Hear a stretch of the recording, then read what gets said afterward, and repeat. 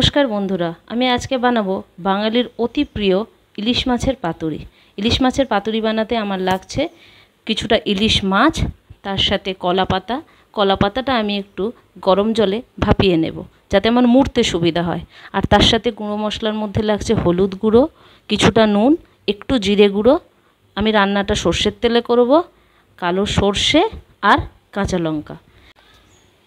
ইলিশ মাছটা আমি একটু নুন আর হলুদ মাখিয়ে নেব।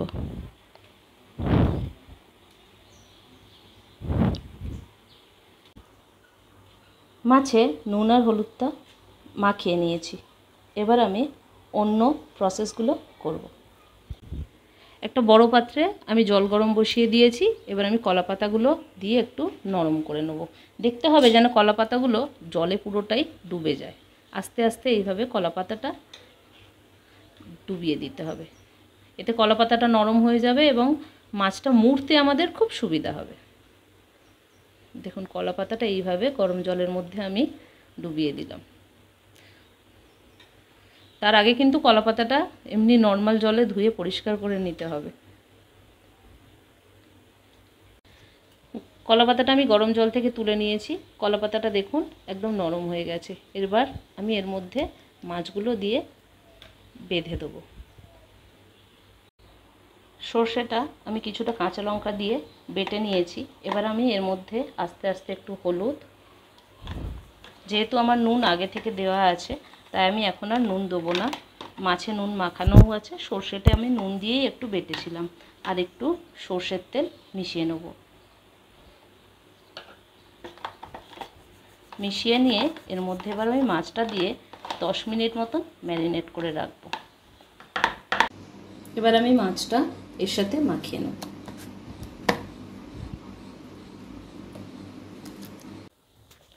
ম্যারিনেট করা মাছটা এবার কলাপাতায় দিয়ে মুড়ে নেব।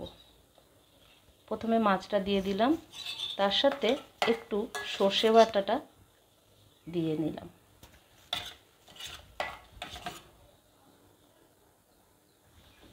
উপর থেকে একটা কাঁচা লঙ্কা দিয়ে দেবো আর আমি সামান্য তেল দিয়ে দেবো ওপর থেকে। এবার আমি কলা পাতাটা মুড়িয়ে নেব।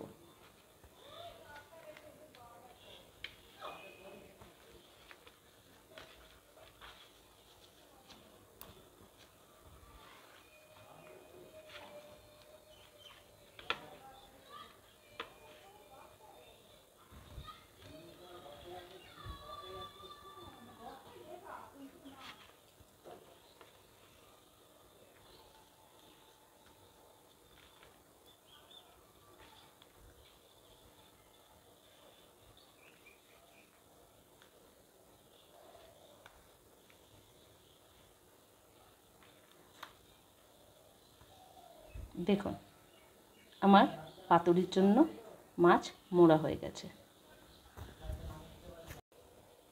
এভাবে মাছটা প্যাকিং করে নেব।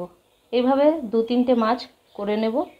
মাছটা গরম জলে স্টিমেও করা যাবে, আবার ফ্রাই প্যানে ফ্রাই করেও করা যাবে। আমি এটা ফ্রাইয়ে করব। আমি ফ্রাই প্যানটা একটু গরম করে নিয়েছি। অল্প সামান্য আমি সর্ষের তেল দিয়ে দেবো। দিয়ে ভালো করে সর্ষের তেলটা আমি প্যানে মাখিয়ে নেব। এবার একদম লো স্টিমে আমি আস্তে আস্তে এই মাছগুলো দিয়ে দেবো।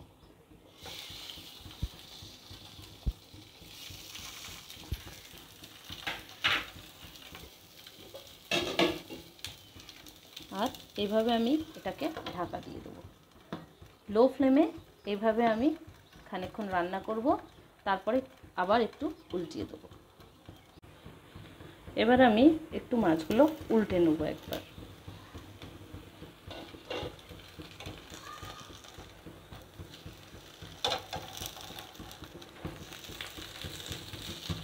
দিয়ে আবার ঢাকা দিয়ে দেবো। এভাবে আরও কিছুক্ষণ হবে। পাতুরিটা আমার হয়ে গেছে, এবার আমি গ্যাসটা বন্ধ করে দেবো। দেখুন, পাতুরিটা কেমন হয়ে গেছে। আমি এবার প্লেটে দিয়ে সার্ভ করব। দেখুন বন্ধুরা, আমার ইলিশ মাছের পাতুরি তৈরি হয়ে গেছে এবার আমি গরম গরম পরিবেশন করব। আপনারাও বাড়িতে এইভাবে ইলিশ মাছের পাতুরি করে খাবেন এবং আমাকে কমেন্ট করে জানাবেন নমস্কার